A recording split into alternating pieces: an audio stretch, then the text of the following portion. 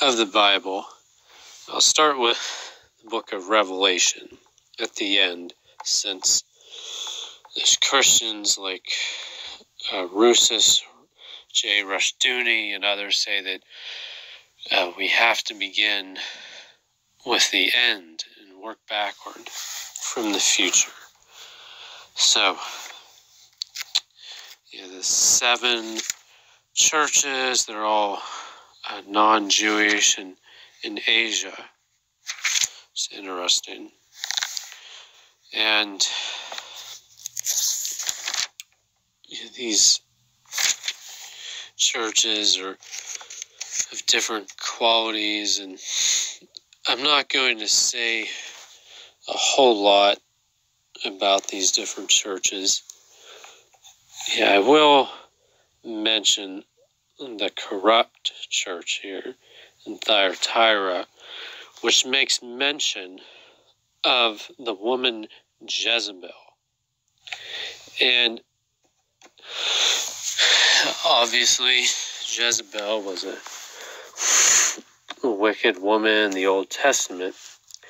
And I've heard that commentaries on this passage here in Revelation actually think that Jezebel was the bishop's wife. And I've heard a sermon by uh, Pastor Jason Cooley uh, who said that in some of these modern churches, there are these feminists, these Jezebels who are very religious women. And they may even be the leaders of the women's ministry program, or they might be one of the elders' wives. And they disrespect the Word of God. Um, you know, they blaspheme it and, you know, undermine their husbands in public and you know, rebuke men and uh, other things that they should not be doing, uh, usurping the authority of the church. And obviously, the number seven has numerological significance for these seven churches, the seven seals, and the seven trumpets. And so, from my Christian studies, uh, I've heard uh, interpretations that Nero is the Antichrist mentioned here in the book of Revelation.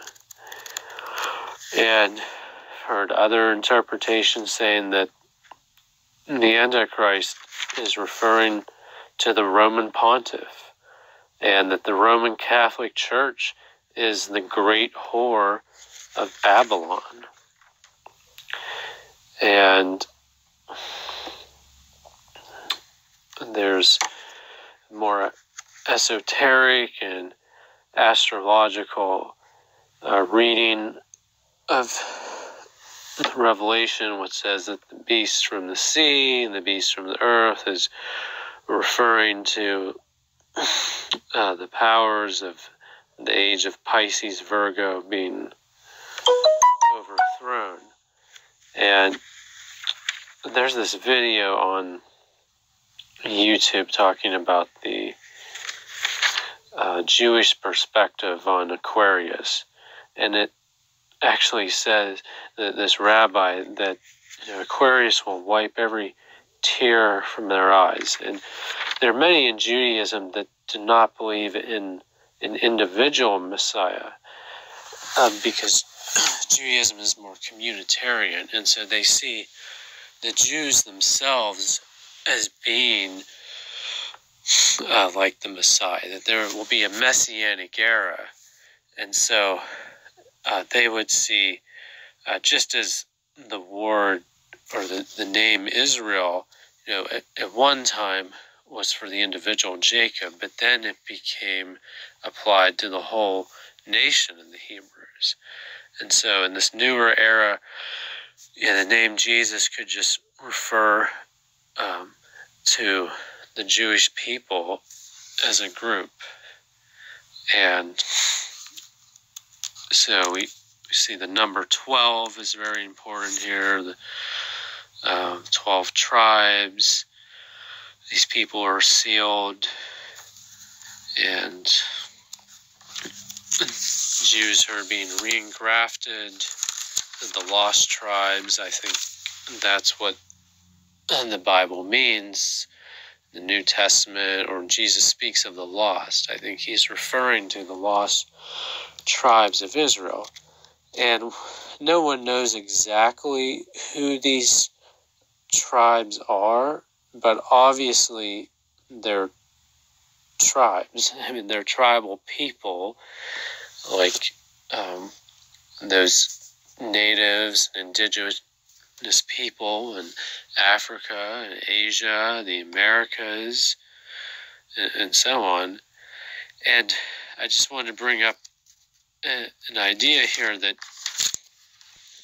if you're going to be in favor of the state of Israel and defend its right to exist, and Jews to this day, I mean, they still are, in a sense, tribal people. I mean, they're a small group. They're only, I think, 15 million Jews in the entire world. Um, so if you're on their side, then you should be on the side of these other tribal people as well the Native Americans and so on.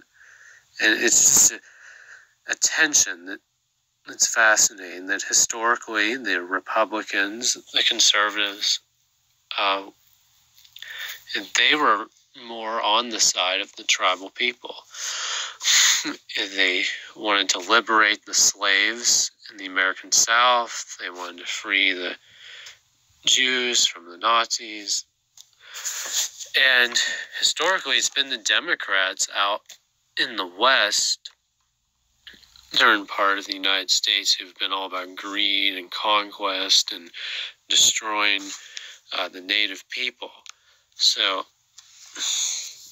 uh, and they've also tended to be less supportive of Israel, uh, American liberals.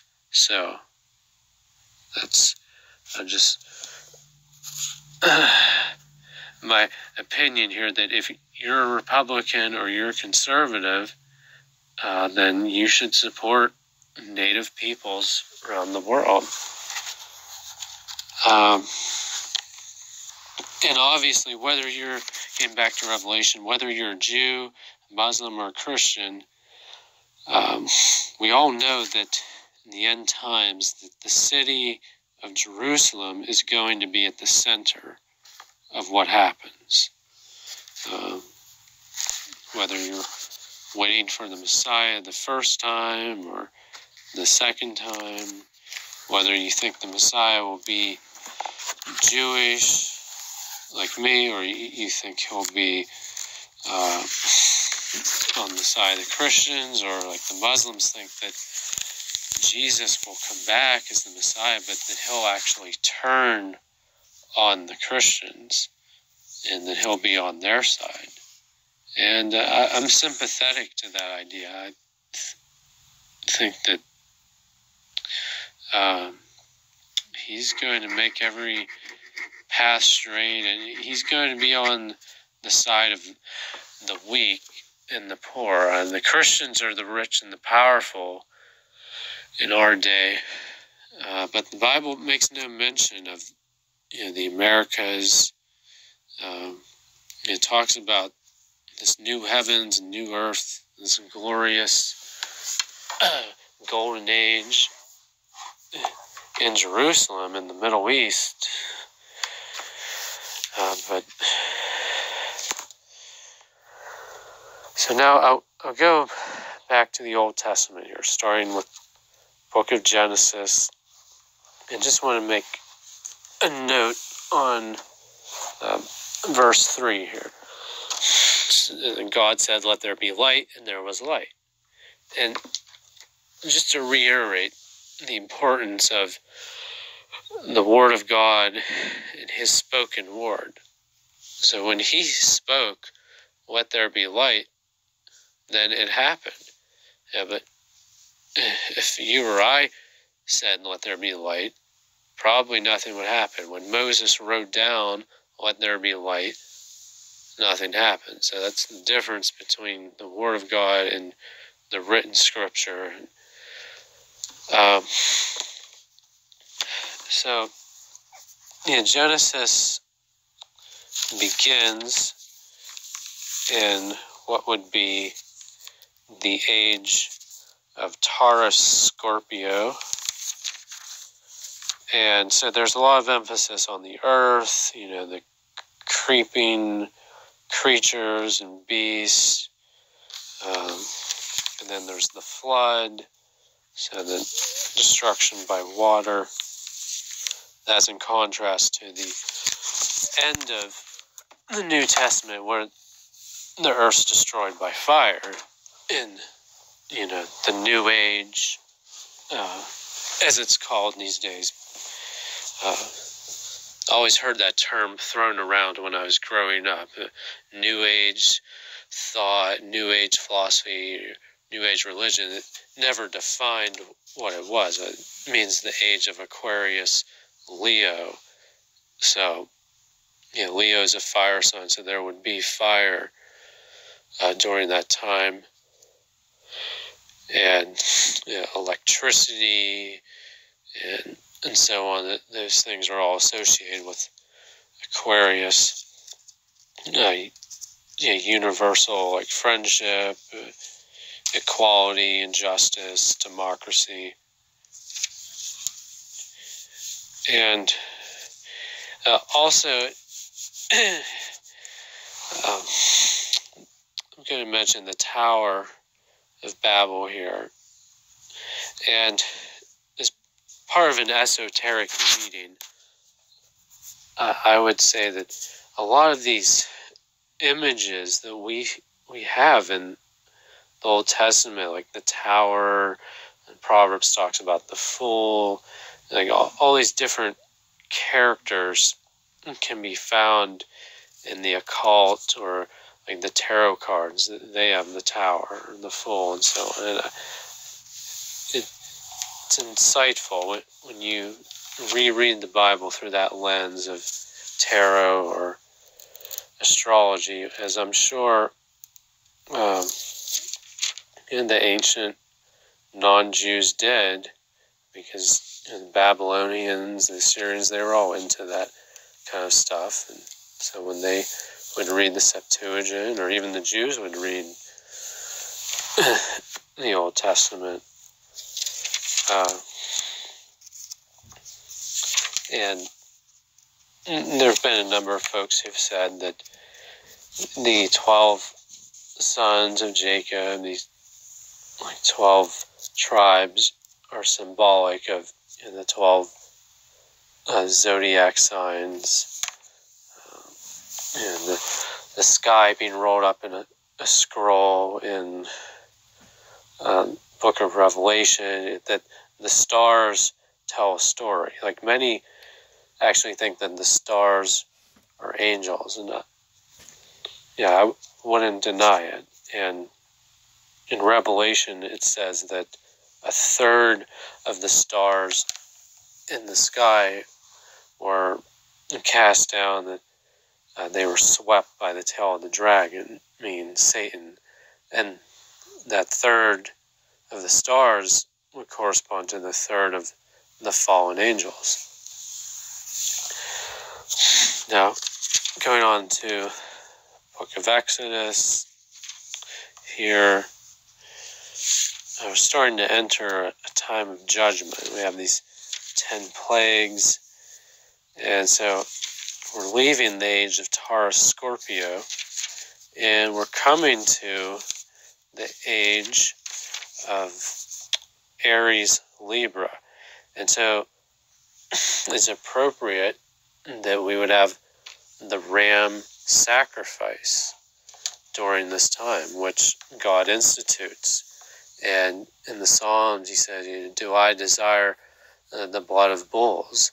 That was from the age of Taurus, the bull. No, at this time he doesn't desire that.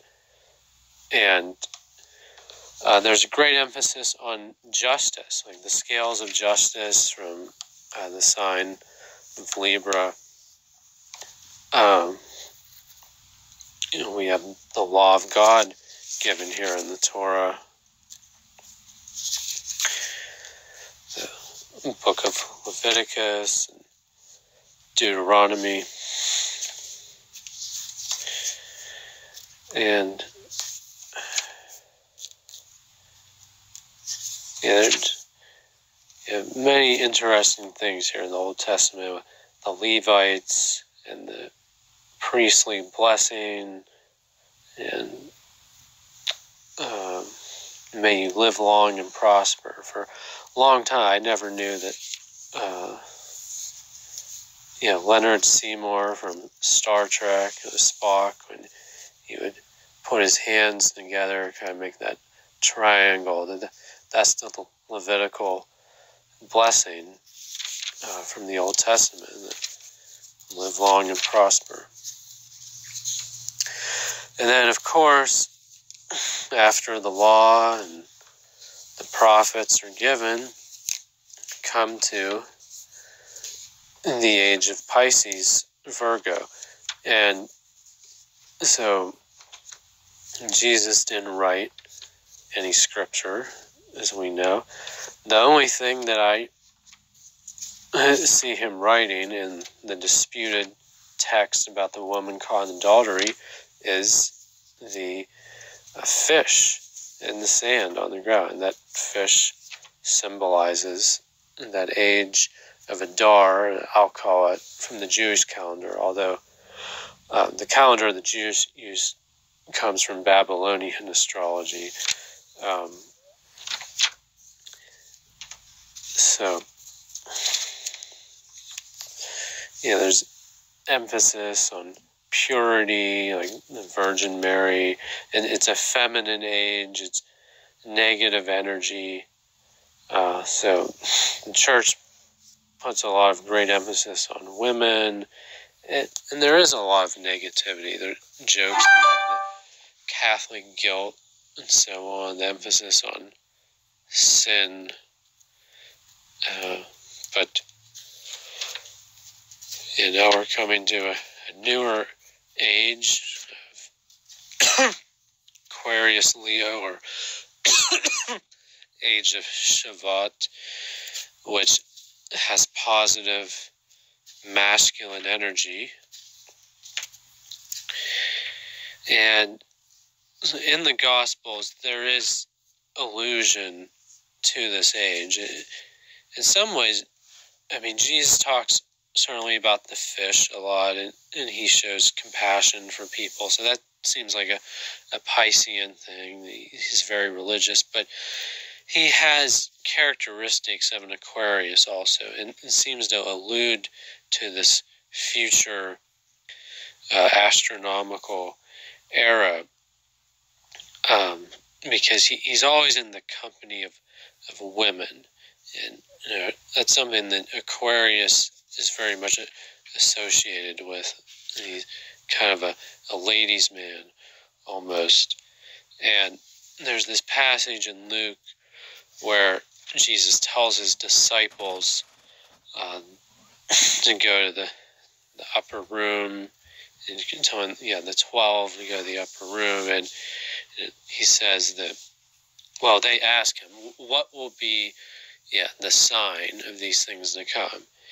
And he actually, I mean, this might sound sacrilegious to some, but Jesus actually tells his disciples uh, to practice astrology. He says they're to look for the signs, that there will be signs in the sun, the moon, and the stars, just as the book of Genesis uh, begins, chapter 1. It says, uh, the sun, the moon, they'll be given as signs for the seasons. And, and so Jesus says you, you'll see a man carrying a pitcher of water, and they're going to follow him. And so the esoteric reading is that well. That man carrying pitcher of water is Aquarius, and he's going to lead them to the new age, and they're to, to follow him. And I'll just close by saying that in the Old Testament and in the new to a lesser extent. There's a great emphasis on time and, and dates, like the, the new moon, the blessing of the new moon. That's not a pagan thing. The, uh, Jews have always blessed the new moon. They continue to do so today. Their calendar is based on the lunar cycle uh, rather than the solar cycle, which uh, the secular um, calendar uses. Uh, the, the non Jews, sun worshippers, I guess, uh, non Jews are more patrilineal, I guess, more patriarchal, maybe a little bit harsher in their approach to life, or Jews have been matrilineal. They're softer, they're like more forgiving. Like God always gives his people an out and he tries to accommodate them. He he says not to do this, but if you do it, then here's what you do to to try to to make it right.